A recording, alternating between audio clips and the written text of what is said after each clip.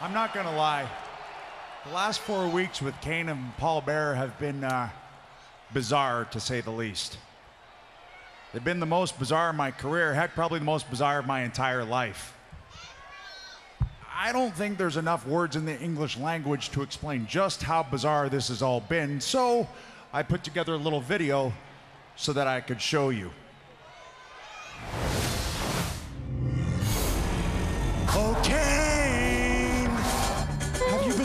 Your father?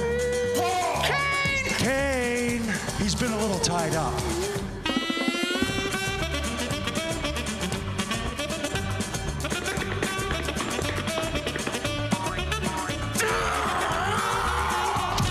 But not Kane, not anyone else is ever gonna find us.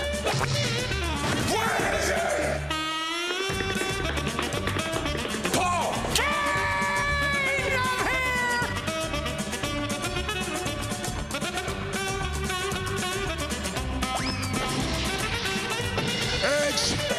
This has gone on long enough.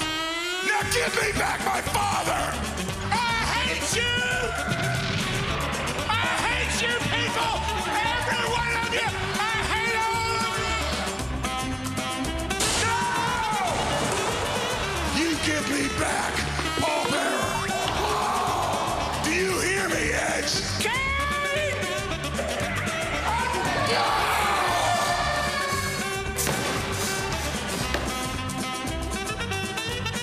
Dummy, huh, Edge?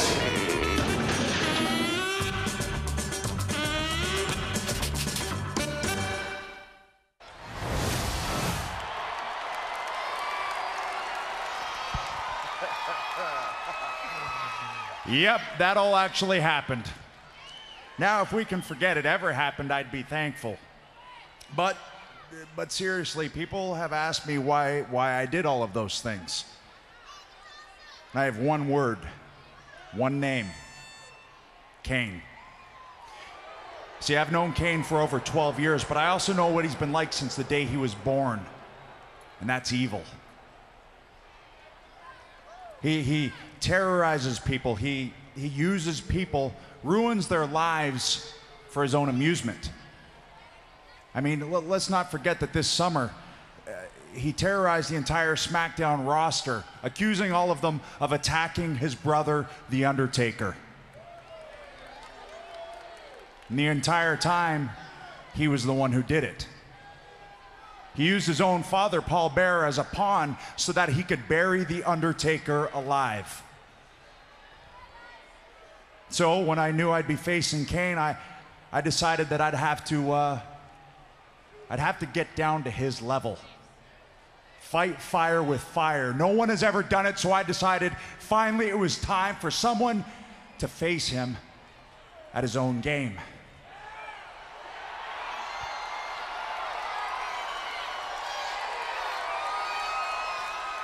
Now, now, did I go too far? I don't, I don't know. Maybe, maybe I did. Maybe I did, but to me, the ends justified the means because it worked. I'm in Kane's head. He's lost his mind more so than usual. The master of the, the evil mental mind game has been one upped. Finally.